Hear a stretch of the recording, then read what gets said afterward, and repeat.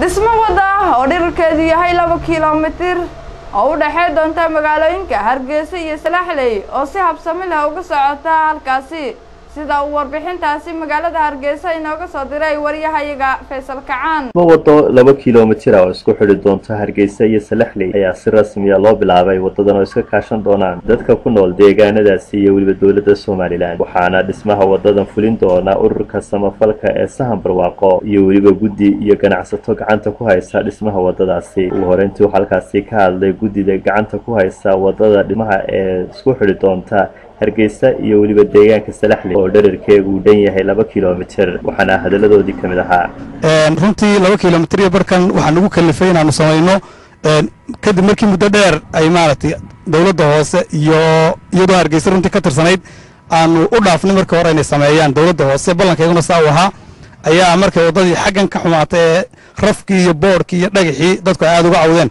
Waxaanu garowsanay inaanu dib u soo noqonno oan anagu dhammaystirno insha allah wixii ka dambeeyana waxaan tegi doonaa markuu roobku daa insha allahu tacaala aan dadka u sheegayna inuu wixii ka sii bilaabi doono qolacday. In ay jirto waddadii hore aynu samaynay afar iyo soddon kilomitir ahayd in jiraan meelo roobabkii da'ay ay runtii waxyeeleeyeen oo godad ama meelo uu ka saaray daamurka roobku markii uu la kulmay ay jiraan.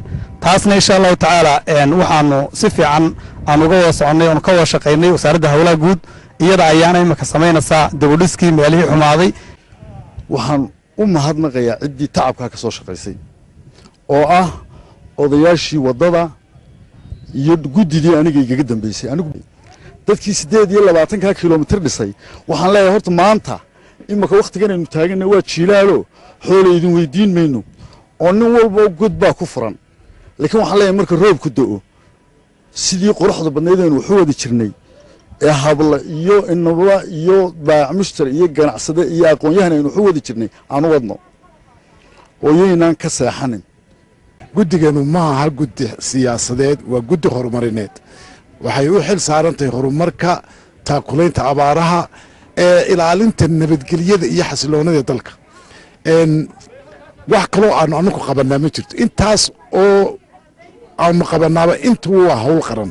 Hawshaa qaran yaa ka mas'uula dowladda. Dowladda anagu markaa waanu la shaqaynaa waxaanu codsanaynaa cid walba inay horumarka nagala qayb qaadato.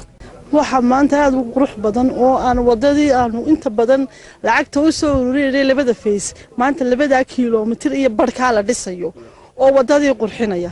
Mar kastoonu halkan soo marno aanu salaxli tegayno ama goobahan aanu ku sii soconno waddadaa waanu ka hadalnaa haddaanu dumarka nahay. Maxaa intaa loo dhammayn waayey? In badanna dowladda haddii lagu halaynaya waxaa la dhahaa dowladda hoosaa samaynaysaa.